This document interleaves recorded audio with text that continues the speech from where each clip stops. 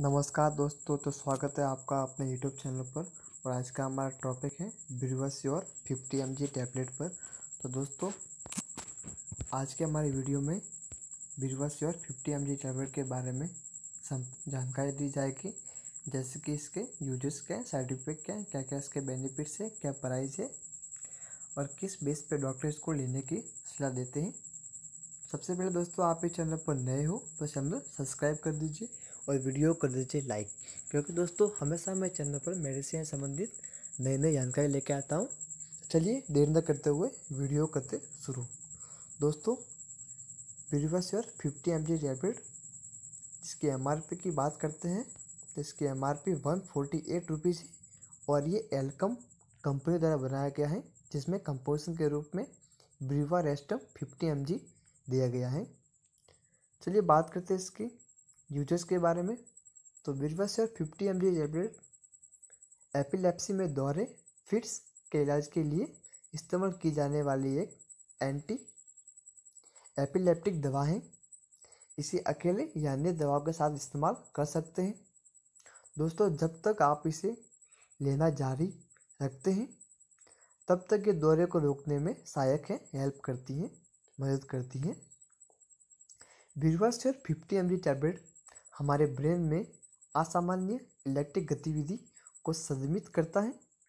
आप इसे नियमित रूप से खाने के साथ या बिना खाए ले सकते हैं, लेकिन सबसे अधिक लाभ प्राप्त करने के लिए इसे नियमित रूप से एक ही समय पर लेने की कोशिश करें।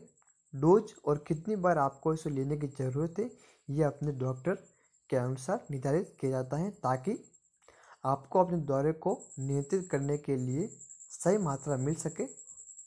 इसे धीरे धीरे बढ़ा भी सकते हैं। आमतौर पर लंबी अवधि के इलाज के रूप में इसकी सलाह दी जाती है। अगर आपको बेहतर महसूस होने लगा है, तब भी डॉक्टर के सलाह अनुसार इसका सेवन जारी रखना चाहिए।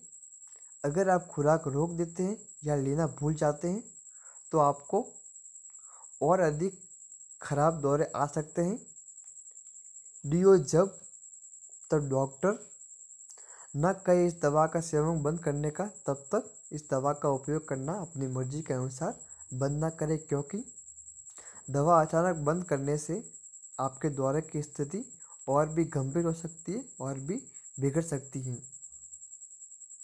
इनमें से अधिकांश साइड इफ़ेक्ट के लिए किसी भी चिकित्सकीय सहायता की आवश्यकता नहीं पड़ती है। लेकिन दोस्तों इनमें से कुछ गंभीर हो सकते हैं।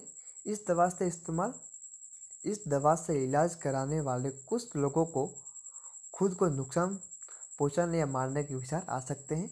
अगर आपको मूड में खराब बदलाव आ रहे हैं तो अपने डॉक्टर से एक बार ज़रूर सलाह लें।